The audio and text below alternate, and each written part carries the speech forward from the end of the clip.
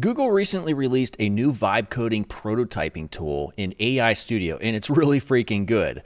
Actually, check out this voice to video short story generator that I built with it. All right, here we go. Far beneath the black waves, something ancient stirred, its eyes glowing like twin lanterns in the endless dark. Process this. Ships that sailed above whispered tales of strange songs that pulled sailors overboard, never to be seen again. Process this. Far beneath the black waves, something ancient stirred, its eyes glowing like twin lanterns in the endless dark. Ships that sailed above Gods, whispered us. tales of strange songs It's that pulled closer. sailors overboard, never to be seen again.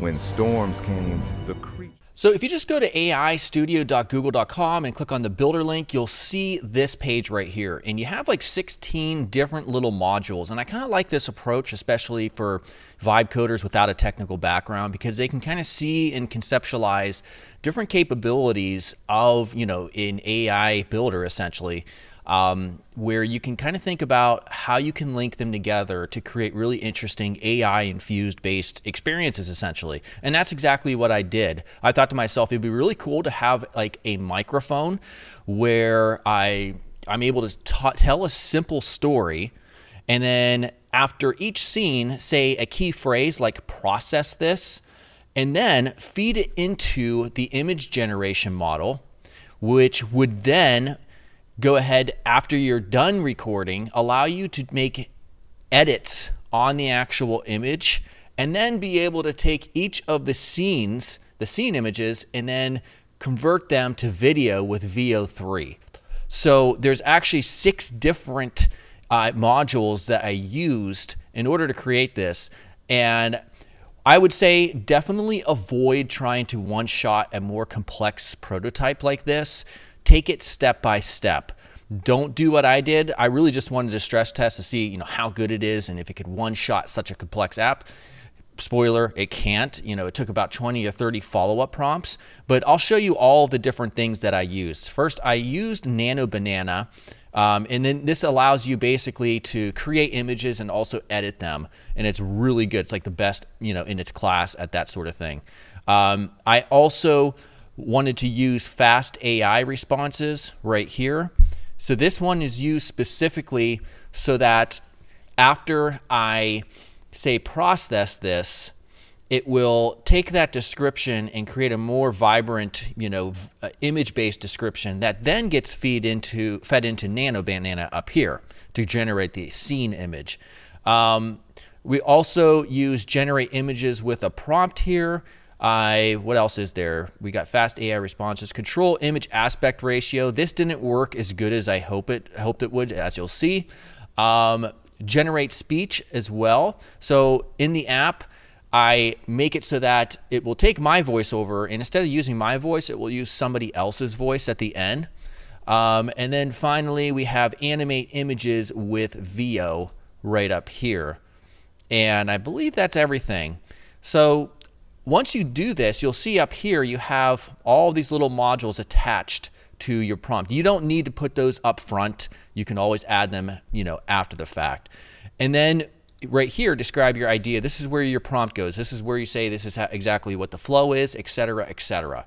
And so then you go ahead after you know you've specified this and you click build, and it will create an initial prototype of your app. Okay, so that was kind of very annoying. I ran into a rate limiting issue because I'm using Veo 3. So if you use Veo, you're going to run into rate limiting issues if you're trying to build with it because you have to generate so many videos for tests. So this is actually fast forward like three days from what you just saw, the last uh, clip me.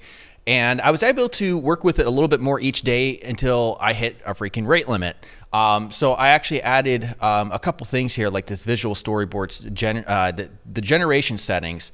I made it allow uh, us to specify like a sort of like a feel for the video, and also um, to try to create consistent characters, which you'll see here in a second.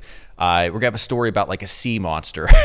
um, so you also say I, I added in painting as well, uh, where you can edit the image before you get it ported over to actual video. All right, here we go. Far beneath the black waves, something ancient stirred, its eyes glowing like twin lanterns in the endless dark. Process this. Ships that sailed above whispered tales of strange songs that pulled sailors overboard, never to be seen again. Process this. When storms came, the creature rose slowly, scales shimmering like shattered stars, hungry for voices to drag back into the deep. Process this. All right, so first one looks pretty good. Got different colored eyes here. I know the second one, I want to actually have a ship um, above water with the creature in the distance. Um, so it looks like these actually didn't do too bad of a job. Um, if I come over here to this, this one right here and click on edit image, we'll see that, let me scale this down just a bit. Um, this whole area, what I want to do is, I don't even want to do any of the in-painting stuff like this. I'm going to clear selection.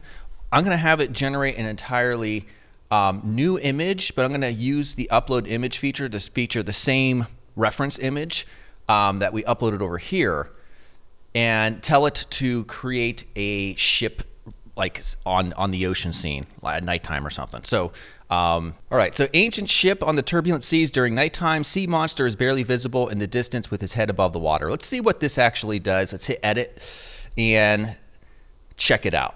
Oh, okay. That's not too bad actually. If I hit edit image, we'll see. Oh darn. It made it in the portrait mode. So freaking frustrating. So I know like if I were to generate a video with this image right here, it's going to be uh, it's it's going to have bars to the side and then it'll probably just kind of zoom them out like that. But either way, I I'm cool with this. And let's see if this actually makes a video for us. Actually, let's go back over here, hit edit image, and let's make the eyes um, yellow. So let's ask and see if it will actually do that. Oh, perfect. It worked.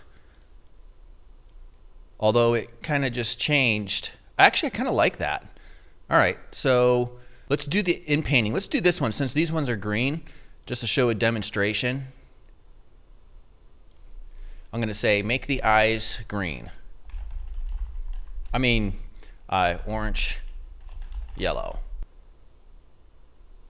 Oh, yes, it worked. Okay. All right, barring the fact that we're not going to get true, you know, 16 by 9 for every shot, let's go ahead and actually uh, generate the videos.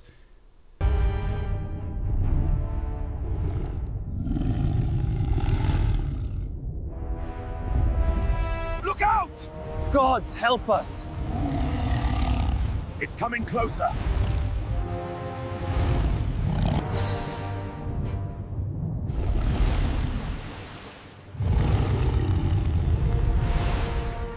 Okay, so I took this into Adobe Premiere. I stitched together the three little video clips. I added a little bit of background music, and this is the result.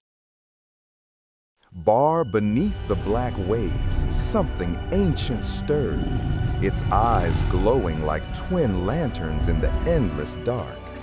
Ships that sailed above Gods, whispered tales of strange songs It's that pulled closer. sailors overboard, never to be seen again. When storms came, the creature rose slowly, scales shimmering like shattered stars, hungry for voices to drag back into the deep. I don't know about you. Obviously, it's not Steven Spielberg. However, the fact that we were able to knock something like a prototype like this out relatively quickly, you know, barring the rate limiting issues, is extremely impressive. This is so freaking cool. I would love to take this into like a real production ready app because there would have to be obviously um, major updates with the consistency in the workflow. Here's another one that I generated just for the fun of it. The metal door of the abandoned spaceship creaked open, and green mist poured out, swirling like it was alive. Inside the control panel still blinked, even though no one had touched them for over a hundred silent years. Then a voice came through the static, soft, broken, and whispering Jake's name.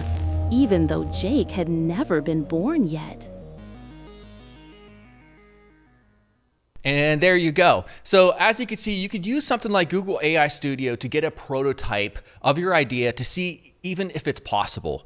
Now, the next step from there would be to export this code. Perhaps uh, you're able to port it over to GitHub if you wish, and then you could perhaps work on it further in something like Cursor, or just start start over, you know, entirely from scratch. So very cool. Pretty impressed with it. It doesn't one shot these complex apps like this.